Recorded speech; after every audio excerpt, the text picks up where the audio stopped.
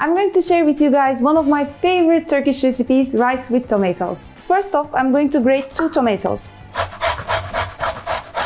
I'm heating my pan and adding some olive oil and butter. Now adding in my tomatoes, a little bit of salt. Now I'm going to put this on a simmer and let it cook for 20 minutes exactly. When the tomatoes looks like this, I'm going to add my rice that I washed thoroughly.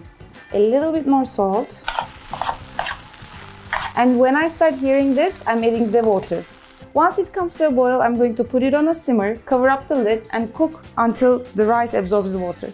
After the rice cooked, I let it wait, I let it sit for a while and now it's ready to serve. A little bit parsley or basil.